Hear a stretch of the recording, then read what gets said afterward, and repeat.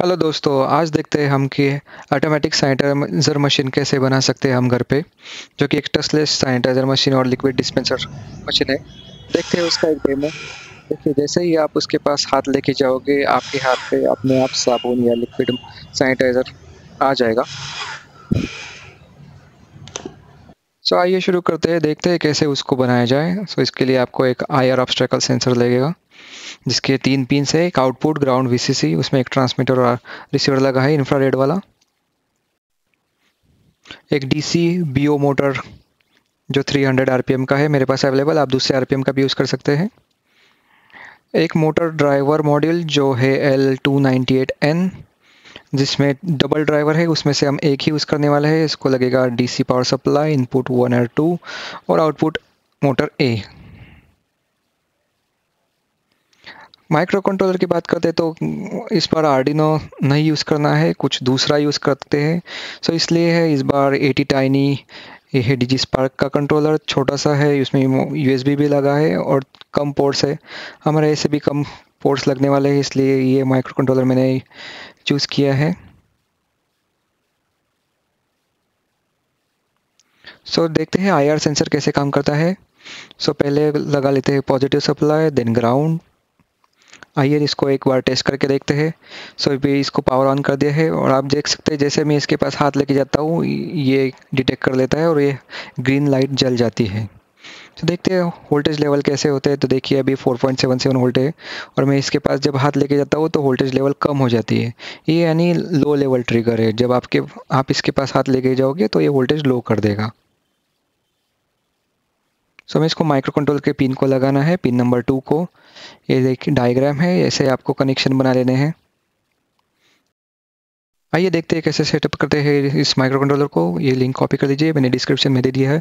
Arduino का software open कर दीजिए, उसमें फ़ाइल प्रेफरेंसेस और ये लिंक उसमें पेस्ट कर दीजिए ओके कर दीजिए। देन टूल्स में जाके बोर्ड्स में जाके आपको दिखना है कॉन्ट्रीब्यूटेड में।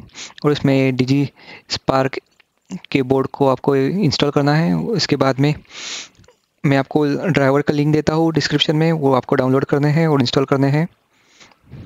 विंडोज़ के ड्राइवर्स जो बूट लोडर के ड्राइवर्स है इसके। चलिए इसको इंस्टॉल कर लेते हैं। यस नेक्स्ट यस फिनिश देख लेते हैं डिवाइस मैनेजर में एक बार कि ड्राइवर बराबर से ठीक से इंस्टॉल हुआ है कि नहीं। एक बार मॉडल कनेक्ट करके देखिए, वो यहाँ पे दिखना चाहिए, हो गया है। तो देखते हैं प्रोग्राम को अभी। सो मोटर के input pin two P zero को लगाया है। पिन वन को पी वन को लगाया है और सेंसर के आउटपुट पिन को पी टू को लगाया है माइक्रो कंट्रोलर के। अगर आप डिजिस पार्क यूज़ कर रहे हैं तो आपकी ये कॉन्फ़िगरेशन यूज़ कर सकते हैं। अगर आपको आर्डिनो का बोर्ड यूज़ करना है तो आपको ये कोड अनकमेंट करना पड़ेगा और ये यूज़ करना पड़ेगा। और पहला वाला कोड डिलीट कर दीजिएगा अगर आर्डिनो का यूज़ करना है तो नीचे वाला अनकमेंट करके। सो ये दो वेरिएबल है। सेटअप में आप देख सकते हैं कि मोटर वन का पिन और मोटर इनपुट टू का पिन आउटपुट मोड में सेट कर दिया है और सेंसर का पिन इनपुट के लिए सेट कर दिया है।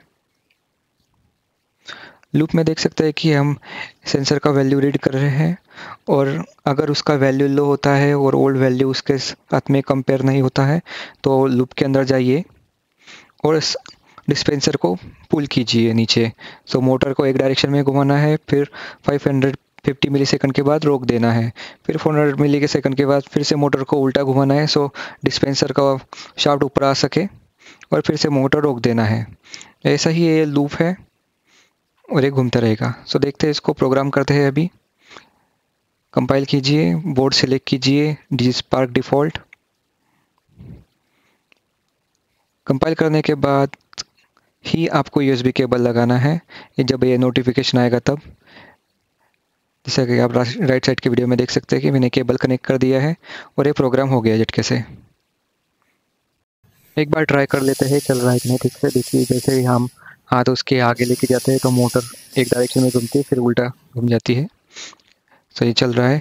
एक बॉक्स ले लीजिए प्लास्टिक का, ये तो मैं सही पावर अडेप्टर का एक बॉक्स ले लिया है, जिसमें हम असेंबली फिट कर सकते हैं। ऊपर डिस्पेंसर के ऊपर एक होल बना लीजिए, जिसमें हमें एक लूप लगा लेना है सकड़ी जिसमें हम धागा अटका सके, क्योंकि बाद में हमें अगर उसको खोलना पड़े या इसको रिफ़िल करना पड़े तो हम आराम से उसको खोल सकते हैं। सो ऐसा धागा लगा लीजिए। मोटर से। अभी हमें इसको ग्लू स्टिक से अंदर चिपका लेना है मोटर को और धागे भी लगा लेने हैं। हमें ये असेंबली पीछे ग्लू गन से चिपकानी है। सो ऐसे मैंने चिपका लिया है अभी और धागा भी अटैच कर लिया है और आईआर सेंसर भी अटैच कर लिया है। इसको हमें पाँच वोल्ट का अडेप्टर लगाना है पावर के लिए। देखते हैं एक प्रैक्टिकल डेमो जैसे यहाँ पर आता है, इसके पास लेके जाते हैं तो वो अपने आप डिस्पेंस कर देता है क्योंकि वो धागा पीछे खींच रहा है। उस मोटर से।